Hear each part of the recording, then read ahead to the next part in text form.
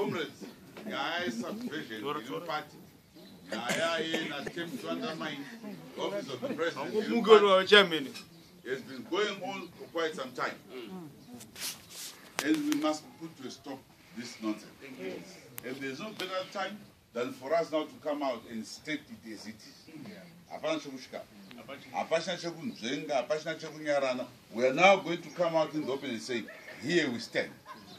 We respect those who came to do the probe but will be responding to their so-called probe because we see cholochoism ichiri mavari you must understand i've been in politburo since 2000 so i've been there for the past 17 years.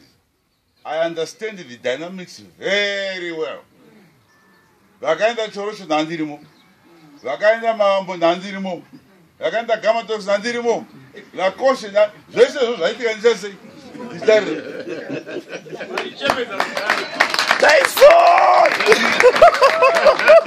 Hapana zvakaitika zvinasisa kuona zukuru wangu uyo anoziva sana. Ndakamendera singa nemhofu yabhenda nyaya isiya izvi.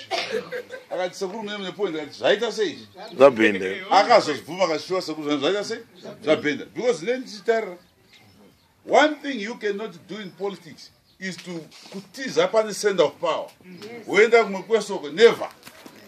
Handitambe nadeputy weparty handitambe namunhu ndomirira pana mambo ndimane ndakagara because ndo pane power. Thank you. Wakada kumbosi nhasi ndosvika ndinwa tii nadeputy ndonwa netii pachii umbore ani mugemu repolitics thank you. Nyika ine mukuru anenge akasharwa navanhu that is where we owe our allegiance to. One send of power. Ndati ndingoti the issue we have gone through. A number of the comrades who were rehabilitated from cholocho have started their activities again within the party.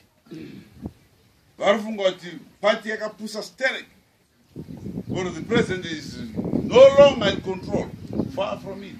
The man is very very aware of these shenanigans.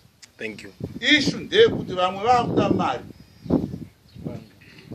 ishu ndeyekuti vamwe vakufunga kuti nhasi uno kandatora power rezanup f i will use it for my personal being to protect either your murders or your cruelty. Kana une wakajambisa mumawindo ndo zvakuda kutiza we are not a shield for your criminal activities. The party must come first. But must come first. Munhu ngaasungwe munhu ngaasungwe so this is now the gloves